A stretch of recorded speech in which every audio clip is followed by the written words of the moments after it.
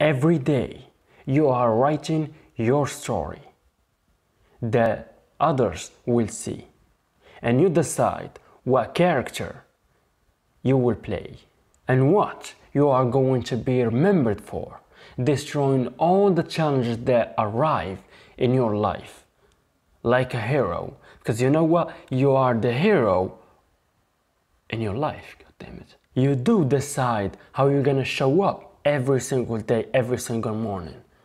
But you don't decide what challenges, what troubles you're gonna get in your way.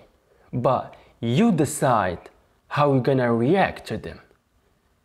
You are the only one who will decide how you're gonna react and how you're gonna resolve everything.